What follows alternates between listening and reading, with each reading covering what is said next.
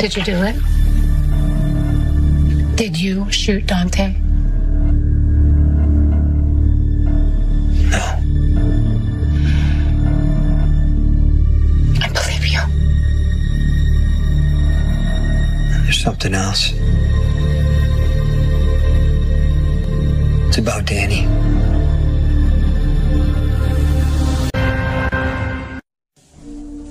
What about Danny? Um, after I was shot, I, I hid out at the boathouse, Okay. and Danny found me. Wait, so you've seen Danny? Yeah. He helped me. He got a first aid kit from the main house and brought it down to the boathouse.